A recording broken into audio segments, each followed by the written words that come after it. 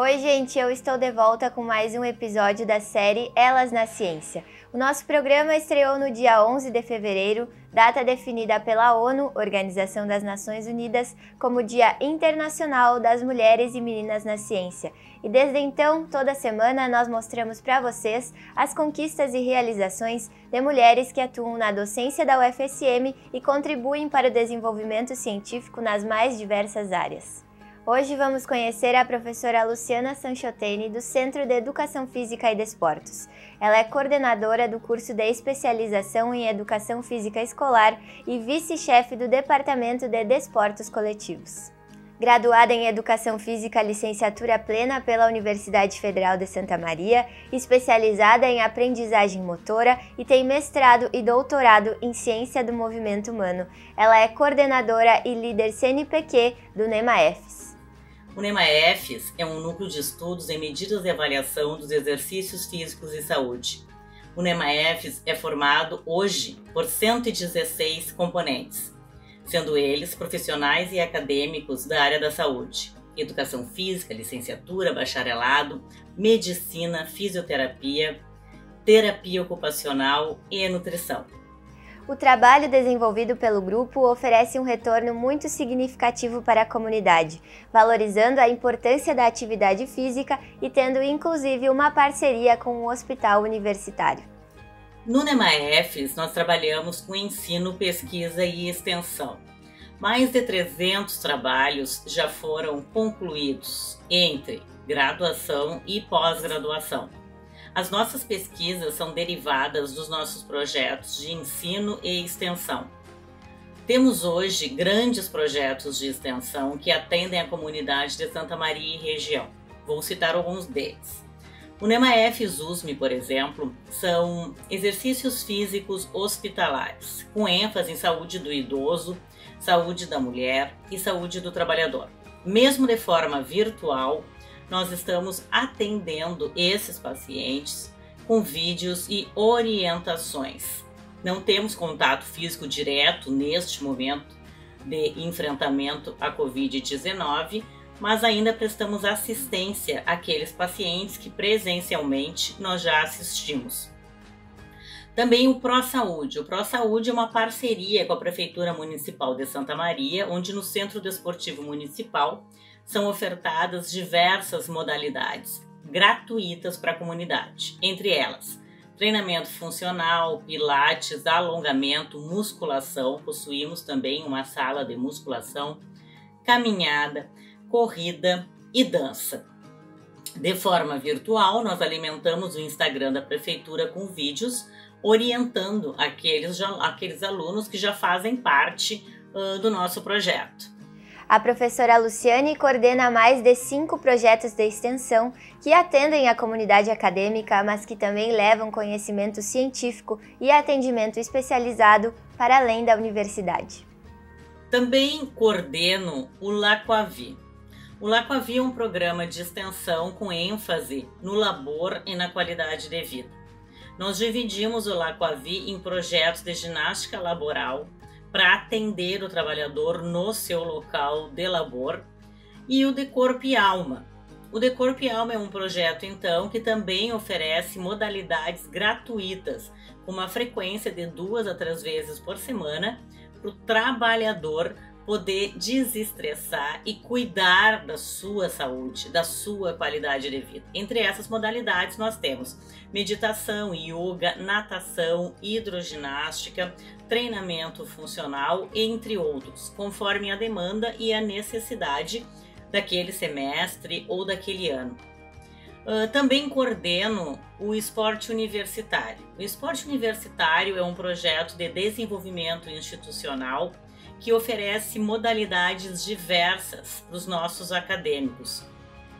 Nós estamos preparados para atender uma média de 3 mil estudantes. Uh, de forma virtual, agora, neste período de enfrentamento à Covid, nós estamos oferecendo algumas modalidades virtuais para os nossos acadêmicos poderem se exercitar em casa onde nós temos uh, o controle do número de pessoas que fazem essas atividades.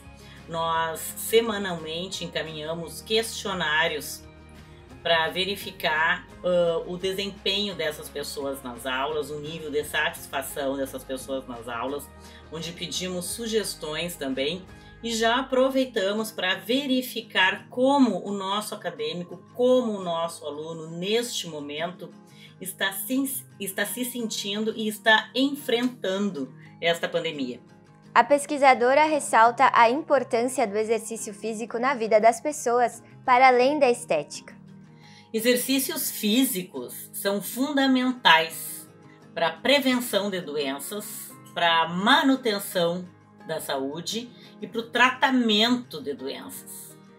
Uh, as doenças crônicas, por exemplo, como diabetes, obesidade, asma, nós sabemos que o exercício físico é fundamental no tratamento também dessas doenças.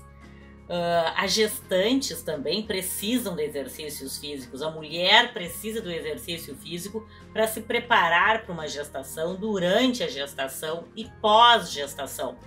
Para isso, nós precisamos procurar sempre quem? Um profissional da área da educação física, né? uma pessoa formada em educação física.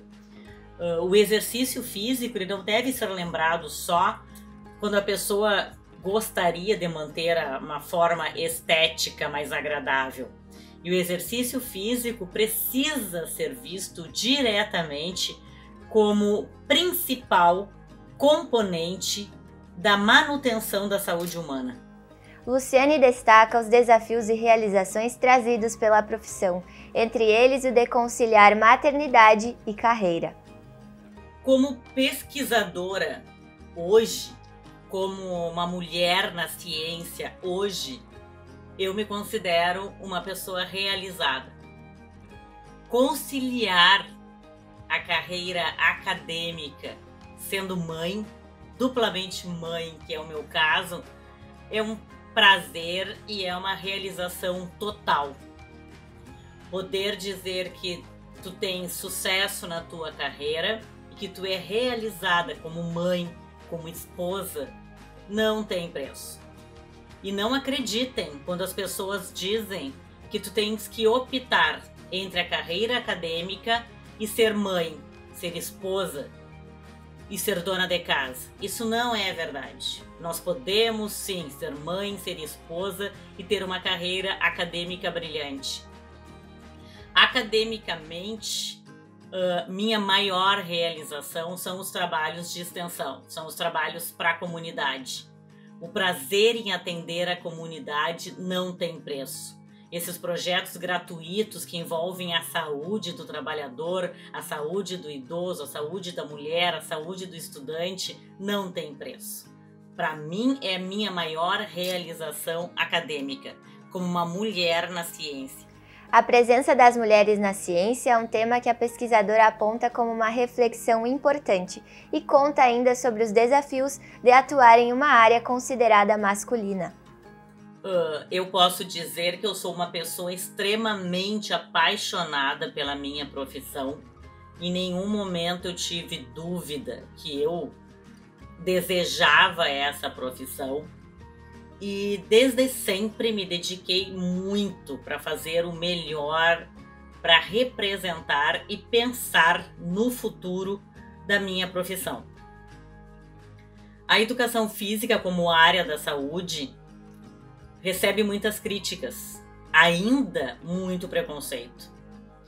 Uma mulher lutando pelo espaço da educação física na área da saúde é mais desafiador ainda, onde nós temos que provar diariamente que a educação física precisa ter um espaço dentro dos hospitais, onde precisamos lutar diariamente para provar que o profissional da educação física dentro da escola é um profissional da área da saúde, onde além disso precisamos provar que a mulher sim tem um espaço de destaque dentro da educação física e dentro da ciência do movimento humano.